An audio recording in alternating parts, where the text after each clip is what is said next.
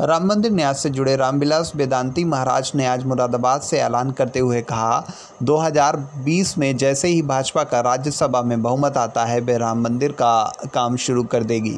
क्योंकि हाल में ही माननीय सुप्रीम कोर्ट भी एक अगस्त से इस पर डे बाई डे सुनवाई करने जा रहा है। राम मंदिर निर्माण को लेकर प्रधानमंत्री मोदी ने संतों से वादा किया है कि उनका बहुमत आते ही निर्माण शुरू हो जाएगा। ये केवल राम मंदिर की बात नहीं है, देश में मुगलों ने तीस हज़ार मंदिर तोड़े थे, वो सब भी बनवाने की तरफ़ एक कदम होगा। पत्रकारों से बात करते हुए वेदांती महाराज ने कांग्रेस पर तंज कसते हुए कहा कि उसने सत्तर सालों तक लोगों को लड़ाने का काम किया है, जबकि भाजपा सबका विकास और सबका साथ की बात कर रही है। वेदांती महाराज ने चैलेंज के साथ कहा है कि आप लोग आज की तारीख नोट कर लो 2020 में मंदिर का निर्माण शुरू हो जाएगा। फिर भाजपा की सरकार 2014 में 2014 में जब भाजपा की सरकार आई तब हम लोगों ने प्रयास किया कि मंदिर बनना प्रारंभ इलेक्शन से ठीक दो महीने जी हाँ मैं सुन इससे लीजिए पहले नहीं। मैं पूरी बात बताता हूँ।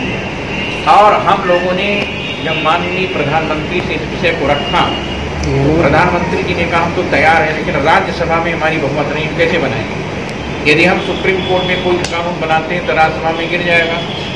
इसलिए राज्यसभा में हमारी बहुमत आने दीजिए। जैसे बहुमत आती है वैसे ही मंदिर का निर्माण करेंगे। मेरी बात सुनिए पिछले साल दो हज़ार उन्नीस मैं बीच में आपकी आपका मैं गूगल पे सर्च कर रहा था। आप का बयान है कि जो है 2019 से पहले जो है राम मंदिर का निर्माण शुरू हो मैं वही बता रहा हूँ। तो जब विधेयक राज्यसभा पास नहीं होगा तो आपने ये मैं बयान वही बता रहा दिया? मैं वही बता रहा हूँ। उसी पर आ रहा हूँ। आप सुनिए मेरी बात।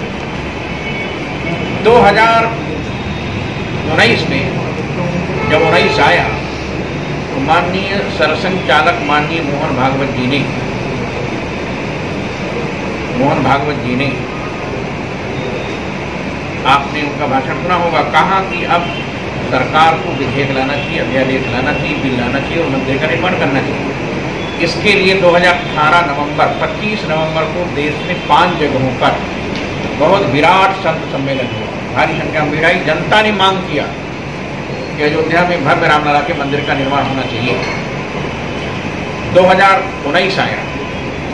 जैसे उन्नीस आने से पहले ही कपिल सिब्बल ने, राजीव धवन ने, जो सुन्नी वक्फ बोर्ड के वकील हैं, कांग्रेस के नेता भी, उन्होंने सुप्रीम कोर्ट के दीपक मिश्रा जी से उसमें जज। एक दरखास्त दिया कि 2019 के चुनाव तक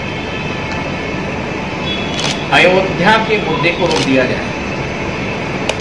और दीपक मिश्रा जी ने कपिल सिब्बल और राजीव धमन के इस प्रस्ताव पर रोक दिया।